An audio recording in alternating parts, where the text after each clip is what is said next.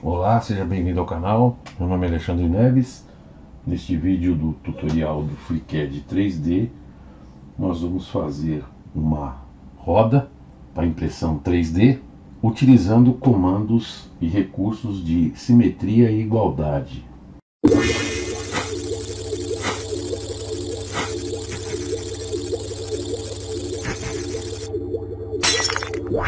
Tem bastante gente no canal pedindo para a gente poder fazer rodas que vão ser utilizadas aí em projetos e essas rodas na impressão 3D.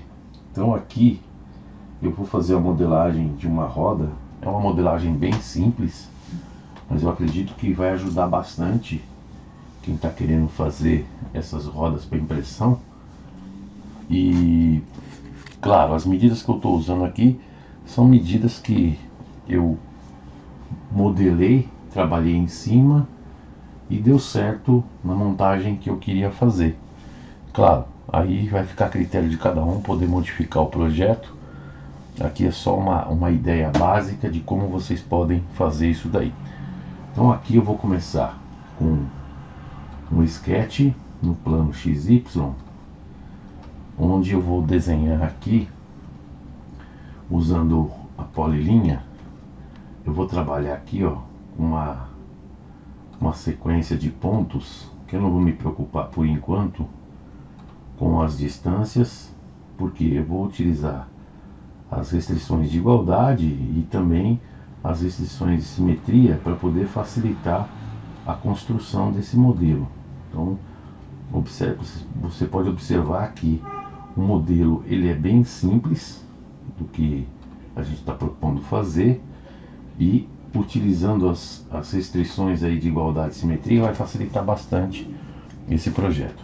Então começando aqui ó, com essas quatro linhas que estão aqui, eu vou colocar todas iguais. Essa linha aqui também em relação a essa linha, vou colocar que são iguais. Essa superior com essa inferior, eu vou colocar também a igualdade. Então aqui nós podemos deslocar, mas todas elas vão manter o mesmo padrão.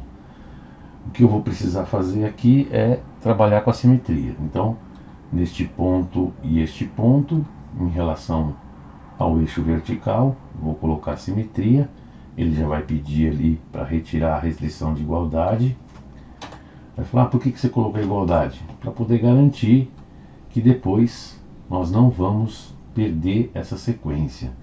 A mesma coisa aqui em cima, vou colocar este ponto, este ponto, linha vertical, igualdade, ele vai pedir para retirar 19, que é a de para, é, linha horizontal.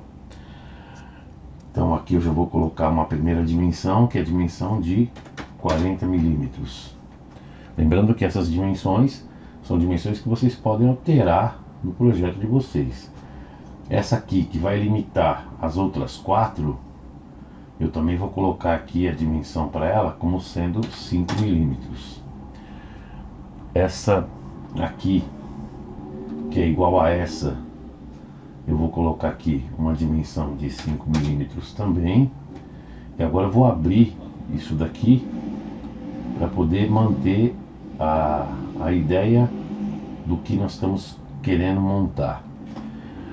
Aqui nós temos uma distância deste ponto até a origem de 10 milímetros.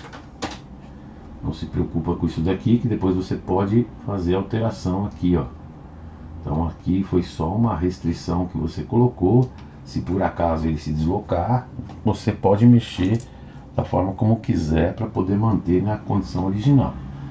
Aqui essa distância em relação à origem, ela vai ter 20 milímetros mesma coisa aqui, ó. Eu vou subir este cara aqui, que ele vai manter a mesma condição aqui, ó. Se eu pegar este ponto com este ponto, linha vertical, vou colocar simetria, pode ver que ele vai manter a mesma distância. Vou fazer a mesma coisa com esses dois pontos aqui, em relação à linha vertical trabalhar com a simetria. Ele pede para retirar a restrição 13, que é de verticalidade. dou um delete, já resolvo esse problema. Aí nós temos essa distância aqui, ó, que ela está acompanhando. Está acompanhando por causa dessa restrição. Então, nós vamos pegar este ponto em relação a este ponto. Ele vai ter, opa, ele deu pau. Deste ponto em relação a este ponto, 30 milímetros. E aqui está faltando um grau de liberdade que seria essa distância. Então essa distância ele está colocando como sendo, deixa eu ver, ah, o fechamento aqui. Ó. Então essa abertura nós vamos colocar aqui horizontal 10 milímetros. Observa que o modelo é um modelo bem simples. E agora a gente vai gerar a revolução deste modelo. Então vou dar um close. Existem outros vídeos no canal falando sobre revolução, principalmente um vídeo sobre a roldana, que eu vou deixar o link na descrição, e o vídeo sobre a polia. Se vocês depois quiserem assistir, vai ficar aí no link da descrição do vídeo. Agora eu vou gerar revolução, então vem aqui, ele vai aparecer lá qual eixo que a gente quer revolucionar. Eu vou revolucionar no eixo horizontal, então aqui a roda está criada.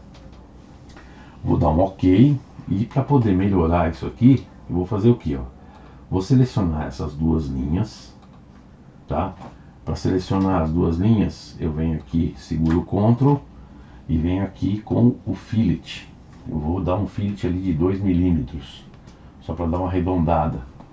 A mesma coisa eu vou fazer aqui, ó, neste ponto, ou melhor, nesta linha, com esta linha, eu vou fazer 2 milímetros também. Primeiro eu vou confirmar o primo, cancelar aqui, vou pegar esta linha, esta linha, segurando Ctrl, mais uma, e outra. Vou colocar aqui 2 milímetros. Então ele já deu uma, um acabamento melhor ali para essas linhas. Vou girar a peça e vou fazer a mesma coisa para o outro lado. Seleciono as quatro linhas. Se tiver com dificuldade de selecionar essas linhas, é só você mudar aqui a visualização para arame. Você vai enxergar melhor ali quais as linhas que você está fazendo fillet. Vou vir aqui em fillet 3D, também 2 milímetros, dou um OK, volto à visualização no estilo padrão, então está feito aqui o fillet para essa região. Aqui dentro também eu poderia até melhorar essa condição aqui, ó. Então, observando que eu tenho esta linha e tenho esta outra linha aqui, ó, segurando o Ctrl. Vou fazer aqui o fillet, só que eu vou mudar a forma de visualizar.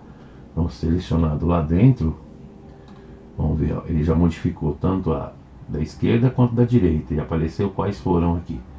Aqui eu vou colocar um fillet de 1,5 só para poder melhorar o acabamento ali. Vamos girar, trabalhar aqui agora na parte frontal.